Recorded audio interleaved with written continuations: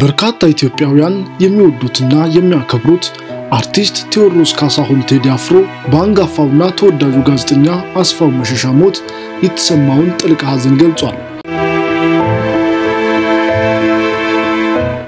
አርቲስት ቴዎድሮስ ካሳሁን ቴዲ አፍሮ በማህበራዊ ድረገጹ ባስተላለፈው መልእክት አስፋው መሸሻን ፈጣሪ ነፍሱን በገነት እንዲያኖረውና መሪር ሐዘን እንደተሰማው ለወዳጅ ዘመዶቹም መጽናናቱን ገልጿል። የአርቲስት ቴዎድሮስ ካሳሁን ቴዲ አፍሮ መልእክቱም እንዲህ የሚል ነበር።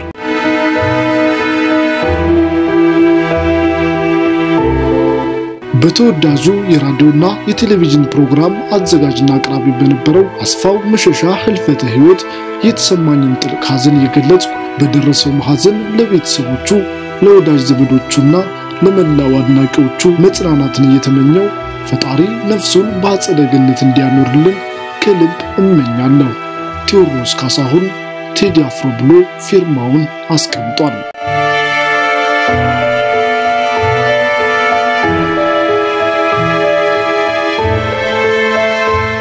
ሌላኛው የአስፋው መሸሻ አድናቂ ደግሞ እንዲህ ሲል መሪር ሐዘኑን ገልጿል። የእግዚአብሔር ፈቃድ ሆነና ወንድማችንን አስፊቲን አጣ ነው።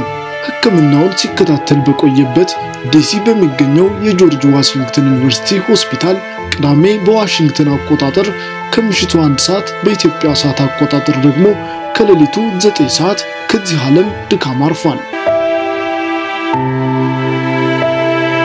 አስፊቲ የመልካምነት የየዋህነትና የሰው ፍቅር መገለጫ ነው። በአካል ብናጣውም ሁሌም በመንፈስ አብሮን ይዘልቃል።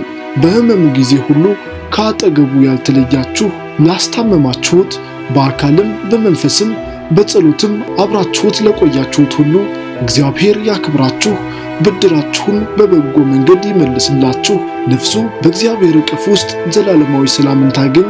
ለልጁ ሻምሶን ወይም ጃፒ ለቤተሰቦቹ ለጓደኞቹና ለሚያውቁት ሰዎች ሁሉ መጽናናት ይሁንልኝ ብሏል።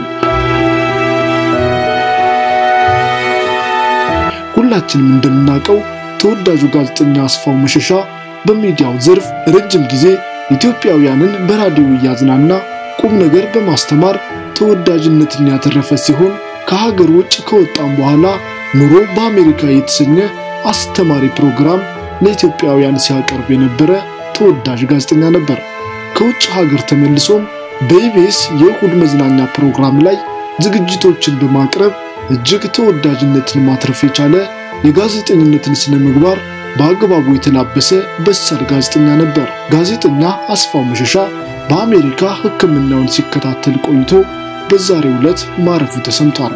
ጋዜጠኛ አስፋው መሸሻ የአንድ ወንድ ልጅ አባት ነበር።